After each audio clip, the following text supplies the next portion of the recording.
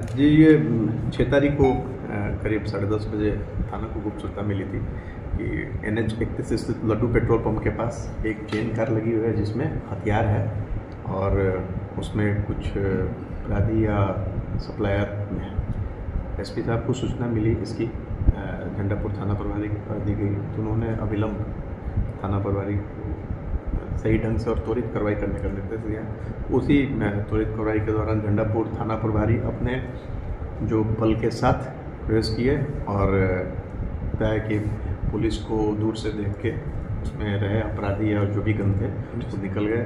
उस, जब विधिपूर्वक तलाशी लिया गया, वो जेन कार थी तो उसमें से तीन आर्म्स, जिसमें दो देसी कट्टा, एक A R seven pistol assault one और तीन मैगजीन जो मध्यम और बड़ा साइज़ का था और छोटा साइज़ का दस मैगजीन। बीस गोली है और कार का नंबर डब्ल्यू बी चौबीस के उनचालीस तेईस है।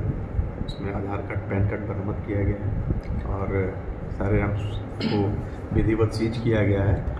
और कांड संख्या झंडापुर थाना कांड संख्या बयालीस चौबीस दिनांक छः आठ चौबीस दर्ज कर कार्रवाई की जा रही है। इसमें हम लोग टीम लगी हुई है डीआईयू की टीम लगी हुई है। जल्दी इसका पता लगा लेंगे सर गाड़ी गाड़ी के मालिक के बारे में कुछ जानकारी मिली है सर? हम लोगों ने सारा डी को दिया है।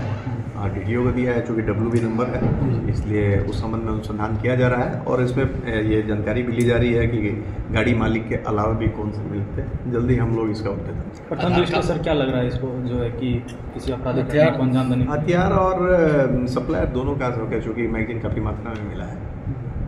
ये दोनों किया जा सकता है। तो इसमें हम लोग जल्दी फॉलोअप देंगे। मिनी गन फैक्ट्री के से भी कुछ जुड़ा हो सकता है। तो गिरफ्तारी हो जाती है तो और सारा इसमें खुलासा होगा। इसमें जो आधार कार्ड पैन कार्ड मिला किसके एड्रेस से किसके नाम कहाँ का है सर वो?